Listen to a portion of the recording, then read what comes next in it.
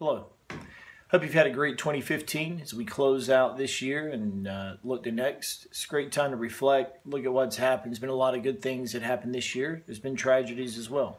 Uh, but that's kind of life. There's always good, there's always bad. It's about how we act and what we do through those things. Now, this is a time of year where everybody makes resolutions. You know, they're going to lose weight, they're going to fill in the blank.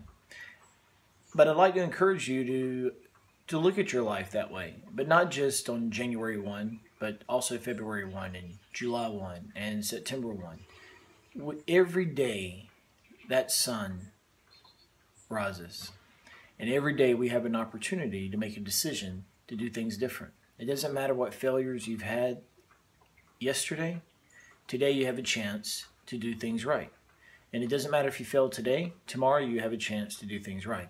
So I to encourage you as a new year comes, as a new day comes, do something you haven't done. Start a project. Um, learn a second language. Uh, read a book. Uh, spend time with your family. If you're a person of faith or exploring faith, take a step in that direction.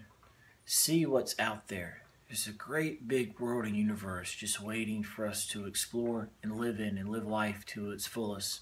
And that is what life is about. And that is what eternity, if you're a spiritual person, God is calling. That's what everything evokes in us to do creative, new life. Help others, help those around you. Until next year, have a good year.